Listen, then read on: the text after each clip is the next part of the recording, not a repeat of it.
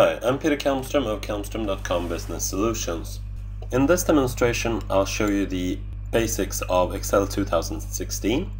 As you'll notice I'm showing this in the Excel 2016 preview. I'm showing it on Windows 10. If you don't have those latest versions of the operating system or Excel, that's fine. All of these things are applicable on the earlier versions too.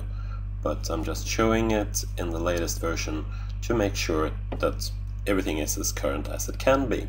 What you're seeing in front of you here is a new Excel spreadsheet. I got to that by opening Excel, just clicking the start button here and typing Excel. And here's the Excel 2016 preview.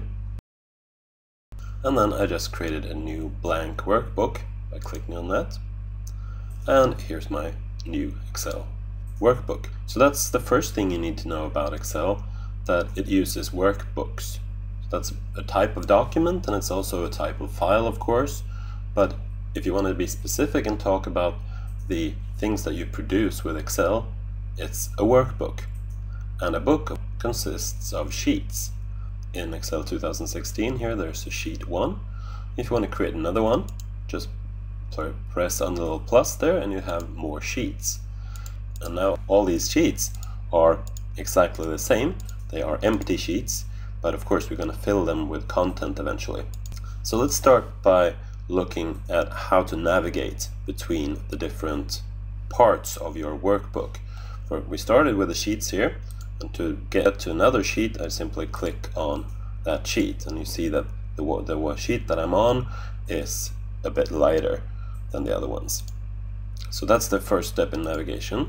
Then inside each sheet there are a lot of cells, that's another very important concept. And as you see, one of these cells is highlighted here, and I can move that highlighting or the selection by simply clicking on another cell or using the navigation keys on my keyboard. So here I'm pressing left and then I'm pressing right to move the selection.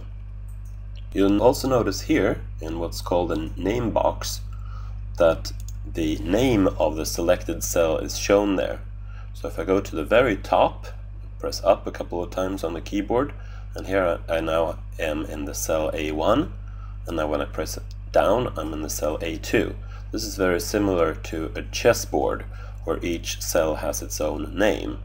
So A2, A3, A4, so on and so on. So those are the very basics of Excel. And that concludes my first demonstration. Thank you for watching.